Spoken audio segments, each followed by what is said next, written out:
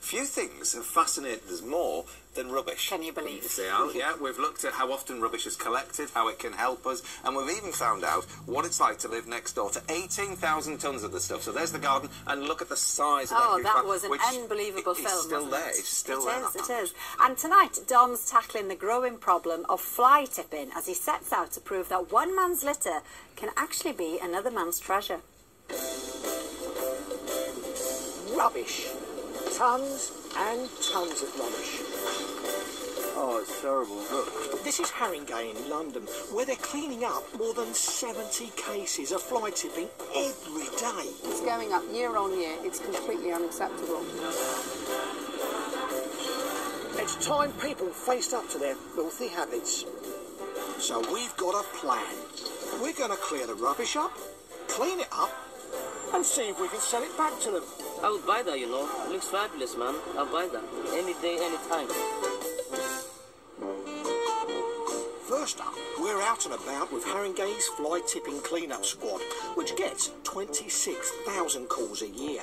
This is household stuff. I mean, this could simply be recycled. All they're going to do is just put these in the correct bins. Joining them today, recycling and salvage expert Liam Collins. He's here to help us change people's minds. While a lot of this is only fit for the dump, other stuff, like this frame, could have a second life. I look forward to doing something really nice with that. I like the shape of those chairs and that leg's quite nice. I think we could actually make it in some kind of shelving unit. Fly tipping in Haringey alone is costing the taxpayer three million a year. And Liam reckons it doesn't need to be that way. So with a little bit of creativity and a little bit of thought, you can actually make a very mundane, worn object into something really useful. Right, well, there's a challenge for both of us. You see if you can turn some of that rubbish into something sellable, and I'm going to see if I can actually sell it to the people around here. Yeah, I think I can do that. While Liam gets to work fixing, finessing, and upcycling our fly-tipped rubbish, I'm setting up somewhere to shift it.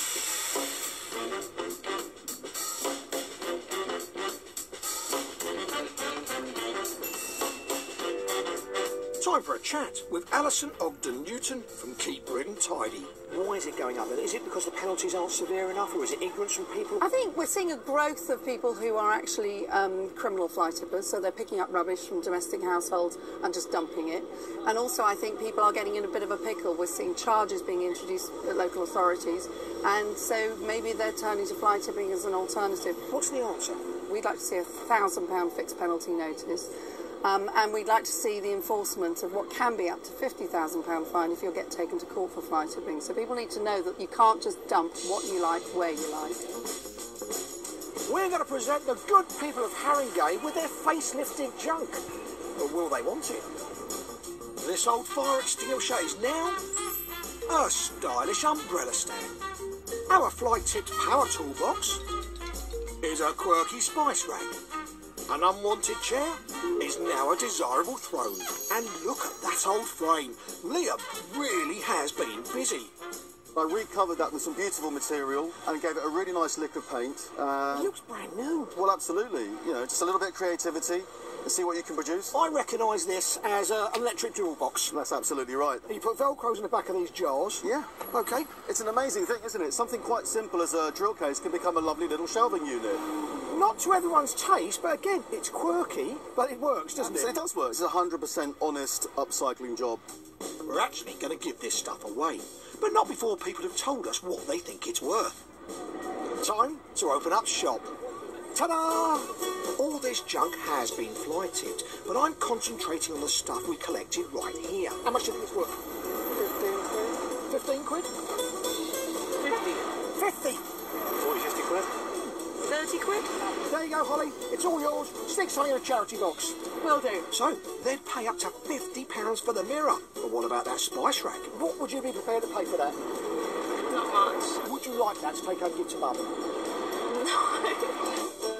If you saw that in the market, how much do you think it'd be marked up for? Fiver? Yeah, okay. Thanks, guys. Bye. Another satisfied customer. What do you think it's worth? 250? £250? Yeah. £250? So with a bit of TLC, someone's old junk is now someone else's treasure. There you go. Seriously? Yeah, why not? I can't believe somebody thought the chair was 250 quid. That's amazing. Seeing all this stuff going to a new home is great, but it don't half beg the question. If so many people like it, why are others dumping it? That's security.